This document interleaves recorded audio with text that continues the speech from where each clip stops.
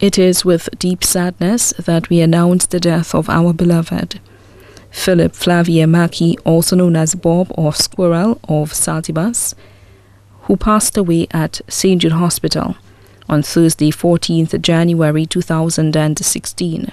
He was 55 years. He was a former employee of the Forestry Department. The funeral service for the late Philipp Flavien Marquis, also known as Bob or Squirrel, will be held on Thursday, 21st January 2016 at St. Teresa of the Child Jesus Catholic Church in Saltibus at 3 p.m.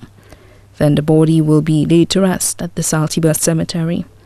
The body now lies at Lazarus Funeral Home, New Dock Road, Vieux Fort. May he rest in peace.